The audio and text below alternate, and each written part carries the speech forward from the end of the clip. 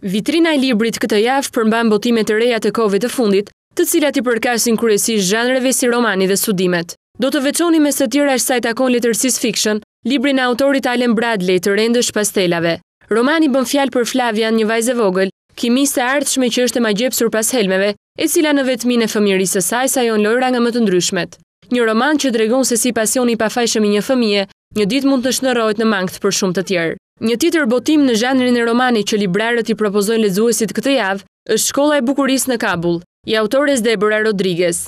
Së fundmi studiuesi Shaban Sinani ka botuar veprën Kodikët e Shqipërisë në kujtesën e botës, një vëllim studimor me mjaft interes për historianët dhe studentët. Ndërkaq, autori Ilir Ikonomi prezanton monografinë Faik Konica jeta në Uashington. Një vepër e re kjo që i shtohet korpusit të shkrimeve dhe biografive rreth figurës së publicistit dhe shkrimtarit të shquar shqiptar. Më tej autori Ardian Klosi sjell librin metodik ABC-ja e përkthimit letrar. Së fundi me interes mund të jetë një tjetër botim i cili është shitur mbi pesëmbëdhjetë milionë kopje në botë dhe është ribotuar me tirazhe marramendëse.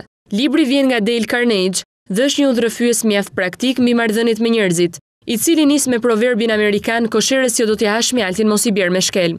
Këto ishin dhe botimet më të fundit që mund të gjenden të dielën në libraritë kryesore në Tiranë dhe në rrethe.